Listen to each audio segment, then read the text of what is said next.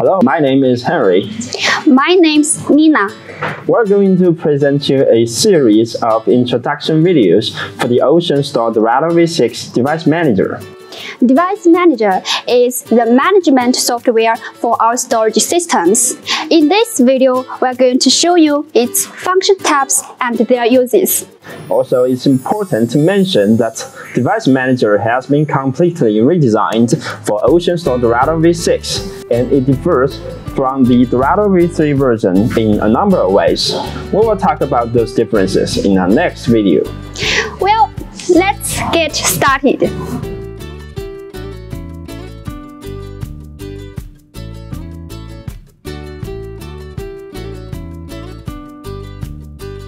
Logging into Device Manager for the first time will present an initialization page for you to set basic information and provision resources.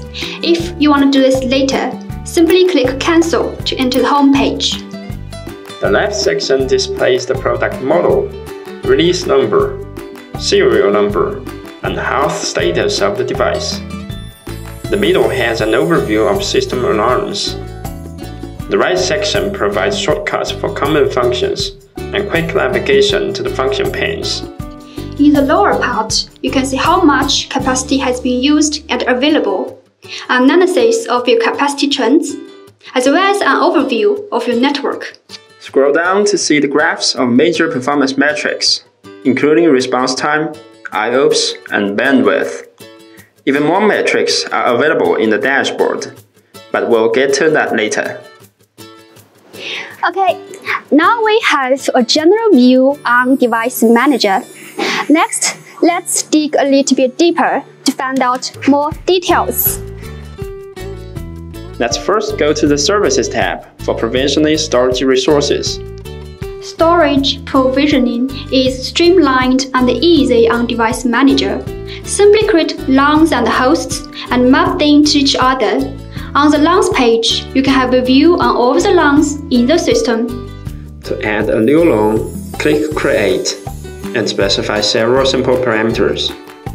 Then select the host for mapping to the LUN to complete storage provisioning. Multiple LUNs for the same application can be added to a LUN group for collective management. On the hosts page, you can create hosts or host groups and add initiators. The storage system auto-discovers Fiber Channel, iSCSI, and NVMe over RoCE initiators of connected hosts. Data is a crucial asset for enterprise business, so we provide a number of data protection features for you to safeguard your data. In the Data Protection tab, we provide snapshots, clones, remote replication, hypermetro, and DR star.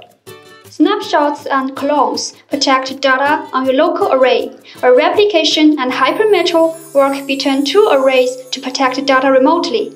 DR star provides the highest level protection by replicating data among three arrays in different localities. These features can be used independently or combined to provide high reliability for your storage data.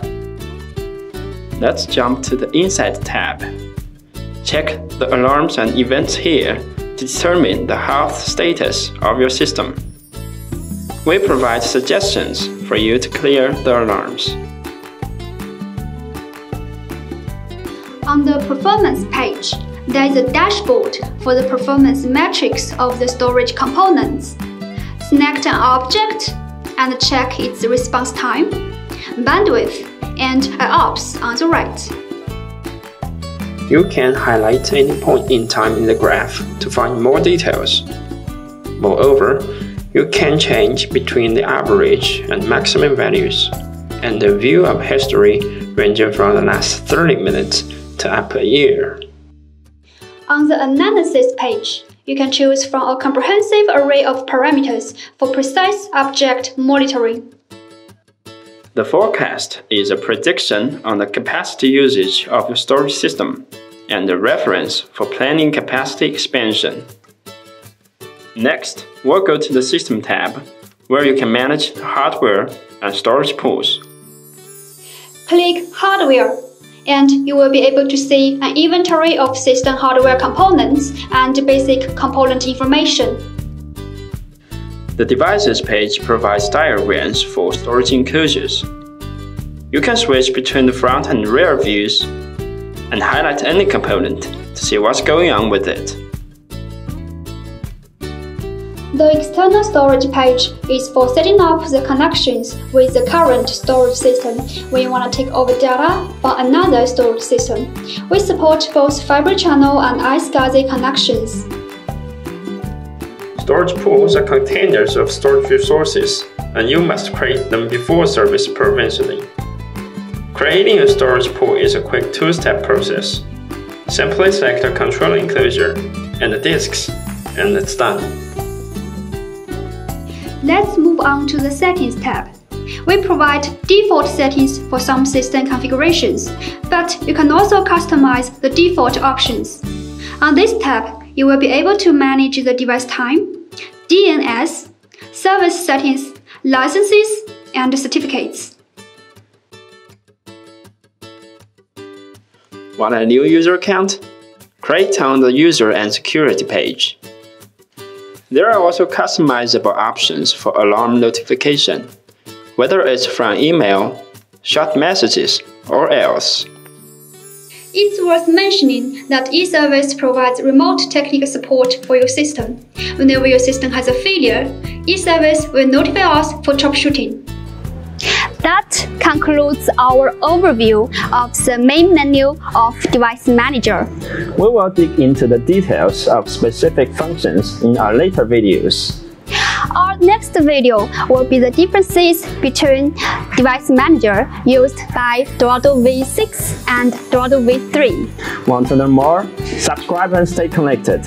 Thank you for watching. Bye. Bye.